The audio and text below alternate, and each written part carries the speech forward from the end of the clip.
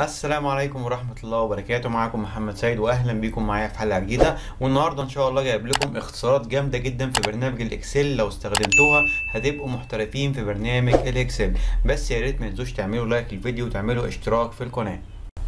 أول حاجة لو أنا عاوز أجمع مثلا مجموعة ال- المبالغ آه، دي بقف في أي مكان وليكن مثلا هقف هنا. بعد كده هضغط على Alt ويساوي من الكيبورد. بعد كده بضغط على Enter بيجمع لي الأرقام زي ما إحنا شايفين كده. طب لو أنا عاوز أقف في أي مكان مفيش مشكلة. وليكن مثلا أنا هقف هنا وهضغط نفس الكلام. Alt ويساوي وهختار مجموعة الأرقام اللي أنا عاوز أجمعها. بعد كده بضغط على Enter من الكيبورد.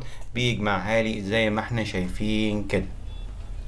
الحاجة التانية لو أنا عاوز أضيف آه، صف أو عمود بقف في أي مكان كده بضغط من الكيبورد على Control وزائد بيبدأ يضيف لي مجموعة صفوف زي ما إحنا شايفين كده. ولما بضغط على Control وناقص بيبدأ يحذف لي العمود أو الصفوف زي ما إحنا شايفين كده Control زائد يزود.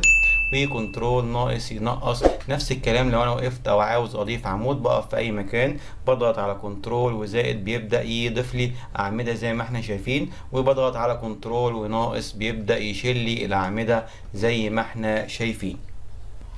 الحاجة اللي بعد كده لو أنا عاوز أعمل اختصار للتاريخ الحالي بقف في أي مكان كده وبعمل control كاف من ال keyboard.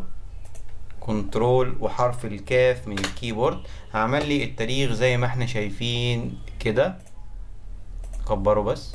اهو زي ما إحنا شايفين. عمل لنا التاريخ بتاعنا زي ما إحنا شايفين كده.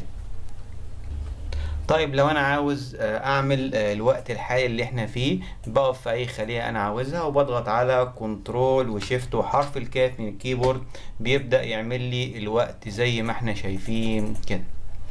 بتمنى الفيديو بتاع النهارده يكون عاجبكم يا ريت ما تنسوش تعملوا like للفيديو وتعملوا اشتراك في القناه كان معاكم محمد سيد شكرا والسلام عليكم ورحمه الله وبركاته